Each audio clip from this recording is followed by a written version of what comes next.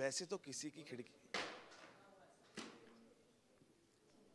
Ready वैसे तो किसी की खिड़की में अगर झांका जाए तो उसे बुरा माना जाता है लेकिन सब टीवी की जो ये फैमिली है उनके घर की जो खिड़की है उसके अंदर आपको बहुत सारी इंटरेस्टिंग चीज़ें बहुत सारी इंटरेस्टिंग कहानियाँ सुनने को मिलेगी। सर आपका बहुत बहुत स्वागत है। थैंक यू थैंक यू सबसे पहले आपसे जानेंगे जो आपने कॉन्सेप्ट निकाला है और बिल्कुल अनोखा कॉन्सेप्ट है कहाँ से सोच आई है मतलब कहानी? की मतलब आपको लगता था कि ऐसी कोई कहानी जो आम लोगों की है उसको लाया जाए? देखिए ये सोच है आ, मेरे अज़ीज़ दोस्त और जब ये आपने देखा writer director of the show Umesh Shukla तो हम लोग कुछ बात कर रहे थे कि कुछ ऐसा करते तो हमने दो तीन कॉन्सेप्ट पे बातें करी। तो हम बात घूम फिर के हमारी ये आई कि यार ये सब नया नहीं है। हम बार बार ना इसी कंटेंट पे आते रहेंगे ऐसी कहानी बनाएँगे, फिर इसमें चोर आएगा घर में, फिर या तो कॉमेडी ऑफ़ एरर हो जाएगी, इसका ये बदल हो गया, या तो हम कुछ फेस्टिवल कर लेंगे। तो नहीं यार, कुछ नया करते हैं ना, जिसमें ऐसी कहानी हो जो लोगों ने ना देखी, ना सुनी हो। तो वो हमारा डिस्कशन चल था कि ऐसा कुछ करते हैं ना। Then Umesh came with idea कि हम अगर लोगों से कहानी मंगवाए तो हम ये कंटेंट हम कहानी, हम छोड़ देते हैं। हम कहानी ही लोगों से मंगवाए तो फनी कहानी। तो ला यार, ये बड़ा आइडिया पर कैसे करेंगे? तो फिर अलग अलग कहानी हो जाएगी अलग अलग फिर मतलब टीवी पे जनरली ना लोग एक साथ ग्रो वो कैरेक्टर्स को देखना पसंद करते तो मैंने बोला, एक काम करते हैं, फिर हम एक सूत्रधार रखेंगे। उसको ऐसा ना ही is the face of the जो सारे, वो मोतियों को एक धागों में पिरो के रखेगा तो इसे सुपर। तो हमने फिर अप्रोच किया चैनल एक प्रेजेंटेशन बनाया, और जाके अनुज जी को सुनाया, सब टीवी पे। एंड ही उन्होंने तो हम ले गए थे काफ़ी कुछ पन्नों का कॉन्सेप्ट उन्होंने एक पन्ना भी पूरा मुश्किल से पढ़ा बोलते डन ये सुपर है. ये बंद उमेश बोला सर मेरी अंदर की बढ़ा से कुछ पन्ने नहीं नहीं डन है डन है डन है.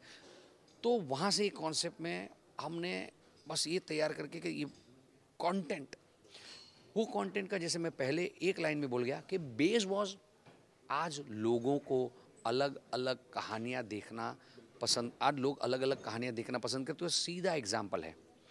आप सौ करोड़ की पिक्चर बनाओ या तीन करोड़ की बनाओ। जिसमें कहानी है, वो चलती है। आप टीवी पे माइंड ब्लोइंग ग्लैमर वाला शो बनाओ, या आप रीजनल टीवी पे देखो एक शो एक छोटा सा शो जिसका बजट होता है पचास, साठ, पचहत्तर हज़ार पर वो उसमें कहानी ज़बरदस्त, वो चैनल ड्राइवर बन जाता है। तो बेसिकली हिंदुस्तान में लोग कहानी देखना पसंद करते हैं। वो हमारा कंक्लूजन था। वो कहानी को कैसे लाना? तो हमने सोचा कि हिंदुस्तान में लोग कहानी देखना पसंद करते हैं। तो वो कहानी उसी हिंदुस्तान के लोगों से ले आते हैं जिनको उस तरह की कहानी अपनी ज़िंदगी में पसंद है। तो हमने इक्वेशन को थोड़ा सा घुमाया and here we are so Aishwarya enjoying tomboy kind of a character oh I am loving it जो मैं पहले चालीस मिनट लेती थी अपनी वैनिटी वैन में अब पंद्रह मिनट में बाहर होती थी। तो of course it was fun लेकिन uh, एक ऐसा कैरेक्टर मुझे, मेरे सामने रखा गया जो मैंने खुद भी नहीं सोचा था कि मैं कर सकती हूँ। So for the producers and writers to have that kind of faith in me कि जो लड़की हमेशा एक स्टीरियो टाइप में फंसी हुई है ग्लैमरस है हॉट है, बहू है, जो भी है। बट किसी ने मुझे ऐसे टॉम बॉय के रोल में कभी नहीं सोचा था। And to do that and then to do it with such a fantastic team was a dream come true promos देखा जो उसपे अंजू की जो बॉक्स तो ये बताइए कि टीवी के जो फ़िल्म के बाद है जो सनी देओल का हाथ है उसके बाद आप चाहते हैं कि आपके आपके मुक्के को याद किया जाएगा टीवी पे? वाह कितनी अच्छी बात बोली है आपने। मैंने तो सोचा नहीं था लेकिन हाँ। किलो का हाथ था ना ऐसा लगे ये ढाई सौ ग्राम का हाथ कहीं पर मैं थोड़ा अपने आप को क्रेडिट ज़्यादा मैं सवा किलो बोल रही थी। नहीं लेकिन ऑफ़ कोर्स बहुत मज़ा आया ये करके और ये एक ऐसा कैरेक्टर है वो जो ढाई किलो का हाथ है वो एक्चुअली लोगों पे भारी पड़ा। इनफैक्ट शूटिंग करते वक्त काफ़ी लोगों को मैंने गलती से मारा। अ, मेरे एक एक हमारा शॉट था जहाँ पे मुझे हवलदार को मारना था और वो मुझसे भी पतले थे। I think he was half my size और he was being very sweet मैंने कभी ऐसे action stunts in a show नहीं किए जहाँ पे मुझे ऐसे दिखाना है कि मैं मार रही हूँ लेकिन एक्चुअली नहीं मारते हैं। और वो बोल रहे नहीं नहीं बेटा आप मारो मारो he must be like double my age and उन्होंने कहा नहीं नहीं बेटा मारो मारो पेट में तो मारो बिंदास मारो मुँह पे नहीं मारना मुँह पे लग जाता है. मैं कहा हाँ सर ठीक है मैं धीरे ही मारूँगी.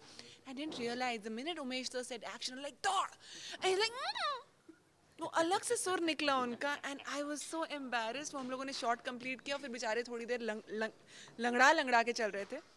और आई फेल्ट सो बैड तो अंजू की आत्मा काफ़ी दिन तक अंदर घुसी हुई थी और मेरे हस्बैंड रोहित भी थोड़े दूर रह रहे थे मुझसे अ, ऐश्वर्या एक अ, बहुत इंटरेस्टिंग कहानी आपकी लाइफ की है अ, हम जेडी साहब को बताना चाहेंगे और वो शायद इसको अपने शो में दिखाए गोवा वाली जो आपके और फादर की कहानी थी जब आप गोवा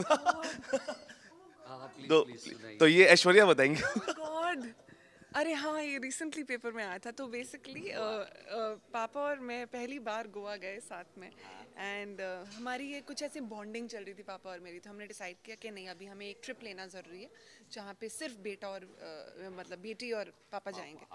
मैंने कहा ठीक है चलो गोवा चलते हैं फन प्लेस चलो मैं फ़र्स्ट ईयर कॉलेज में और हमने कहा ये ना कमर्शियल बीचेस पे नहीं जाएँगे बागा वागा पे नहीं जाएँगे कोई अलग बीच पे चलते हैं। चलो, पापा ने उठाया अपना स्कूटर, मैं पीछे बैठी। चलो, हम पहुँचे एक बड़ा खूबसूरत बीच, ब्लू पानी। इंडिया में ब्लू पानी। हम पहुँचे, हमने अपना टाल बिछाया, पापा ने एक बेड लिया, मैंने एक बेड लिया, ये ऐसे बैठे सडनली मैंने राइट में ऐसे नज़र घुमाई, पापा ने लेफ़्ट में नज़र घुमाई और एकदम से हम दोनों ने एक दूसरे से नज़र घुमाई। वी डेंट रियलाइज़ कि हम एक ऐसे बीच पे पहुँच गए थे जहाँ पे लोग नंगे थे and we were the only ones wearing clothes and we ran from there मतलब पापा को पता नहीं कैसे वो मुझसे नज़र मिलाए। मुझे समझ में नहीं आया कि मैं उनसे कैसे नज़र मिलाऊं। तो या दैट हैपेंड कहानी आपने बोला, ये नहीं हो सकती है टीवी पे। दिस इज़ कहानी का जो ट्विस्ट था वो ट्विस्ट के आगे हमको सेंसरशिप करनी पड़ती है। तो ये कहानी नहीं हो सकती है। ऐश्वर्या आप दिल्ली से हैं। और इसको हम तोड़ मरोड़ के कुछ तोड़ मरोड़ के बनाएँगे। हम वो बीच के बीच के जिस दूसरे शो में होता है। देखो ये यही ब्यूटी है खिड़की की कि यहाँ ऐसी कहानी की जैसे अभी इन्होंने कहा कि वो बिल्कुल ही निर्वस्त्र थे। मैं अच्छे शब्द में रखते हो तो। तो ऐसा है। तो मैं क्या इसमें ना हम ये सकते हैं कि वहाँ से वहाँ कुछ जंगली लोग आ गए और उन्हें पत्ते पहने हुए थे। पर यही है ना ये फॉल्स हो जाएगा। यही हम कहना चाहते हैं कि यहाँ जो होगा, वो रियल स्लाइस ऑफ़ लाइफ जिससे आप रिलेट कर सके। बीच पे अगर मैं जंगली लोग दिखाऊँ तो वो तो वही होगा ना कि कहाँ से जंगल, बीच पे कहाँ से ये आ गए? तो ये नहीं होगा। खिड़की की क्रेडिबिलिटी ये होगी कि यहाँ real life situation real life कहानी होगी और जिसको आप बिलीव कर सके, जिसके आप जुड़ सके, वैसा कॉन्टेंट होगा। So Aishwarya you're a Punjabi girls और पंजाबी कुड़ी जब गुजराती बोलती है तो आपको तो टफ लगा ही होगा। लेकिन आपको जब आपके परिवार वालों ने देखा गुजराती बोलते हुए तो कैसा रिएक्शन था पहला? अभी तो परिवार वालों ने देखा नहीं है 28 जून को देखेंगे, लेकिन मैं खुद सरप्राइज़ थी जब मैं अपने आप को ऐसे गुजराती बोलते हुए या गुजराती लहजे में बात करते हुए सुन रही थी तो मुझे समझ में नहीं आया कि हुआ क्या लेकिन देन आई रियलाइज़ कि मेरे जो 12 घंटे थे दिन के वो जेडी सर के साथ गुजर रहे थे उमेश सर के साथ गुजर रहे थे पूरी हैट्स ऑफ़ टीम के साथ गुजर रहे थे जो गुजराती। में ही बात करते हैं। तो थैंकफुली मुझे गुजराती कैरेक्टर मिला और मुझे बहुत आसानी से हो गया। लेकिन you you know know, uh, मैं पंजाबी हूँ लेकिन मैं पंजाबियों के नाम पर भी धब्बा हूँ। मुझे तो I came as a blank canvas मुझे नहीं पता था कि मैं क्या करने वाली हूँ। I left myself completely in the hands of Umesh sir आप जो बोलोगे मैं वैसा कॉपी कर लूँगी। So it just work for me so आपको लगता है कि जो फाइनेट सीरीज़ अब शुरू हो गई हैं काफ़ी फाइनेट सीरीज़ हम देख भी चुके हैं they are becoming more interesting and more TRP gaining I think he would be a better जज of that see finite series में वो ये कल्चर चाहे वो इन टीआरपी अभी लाता है नहीं लाता है कुछ लाते हैं कुछ नहीं लाते हैं पर वो कल्चर आना इसलिए ज़रूरी है क्योंकि in long run if you want to have better content 25 26 episode की जो कहानी है, वो मैं 260 में देखने की जो आदत में हम बैठ चुके हैं तो वहाँ से it will be very good for the audiences and for the entire entertainment industry कि हम जो कंटेंट जितने में कही जानी चाहिए, उसी में कहना सीख ले because it is also upbring ये होता है ना कि नई आने वाली जनरेशन का जो हम अपब्रिंगिंग करते हैं। अब हम भी कुछ साल में चले जाएँगे तो नई जनरेशन आएगी तो उनका एक सुर तो सही लगे। तो ये हम सब के लिए बहुत ज़रूरी है कि people learn the right way of entertaining people Aishwarya जब आप अपने हस्बैंड के साथ जाते हिल्स मना है आपको? क्यों? नहीं हिल्स मना है तो कई सारी इंटरेस्टिंग फैक्ट्स हैं, ऐश्वर्या के बारे में, लोग कम जानते हैं, लेकिन ऐश्वर्या से सुनेंगे। जब कभी एक परसेंट उन्होंने हील पहन के चले होंगे तो सबसे पहला क्या? है ये जो आप बात कर रहे हैं, ये मैंने स्टेटमेंट दी थी शादी से पहले। और तब शादी के बाद वो कुछ कर नहीं सकते।